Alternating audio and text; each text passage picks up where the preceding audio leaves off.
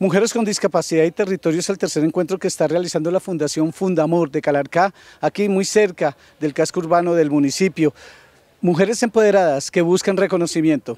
Esta es un encuentro de mujeres con discapacidad y territorio.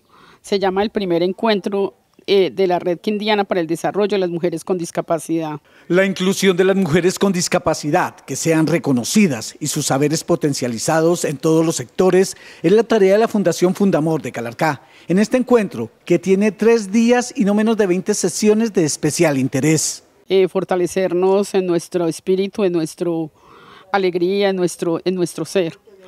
Pero también significa eh, empoderarnos de nuestra eh, capacidad de mujeres y trabajar en unión en una red de mujeres. Inicialmente se conformaron hace un año en una red que las unió como una gran familia. Hace un año, este se, nos conformamos hace un año, por eso este es el primer encuentro como red. Lo que nosotros hemos hecho es reunirnos como grupos de mujeres desde hace unos tres años para acá.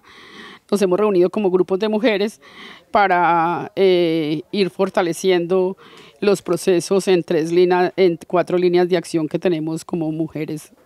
Ellas están invitando a todos los candidatos, a las corporaciones públicas para que agenden el tema en sus propuestas. Según Amparo Rosas, el alcalde Luis Alberto Balcero Contreras sí ha trabajado y ha apoyado sus iniciativas, pero se necesita que el próximo mandatario maneje la temática para que lo incluya en el plan de desarrollo.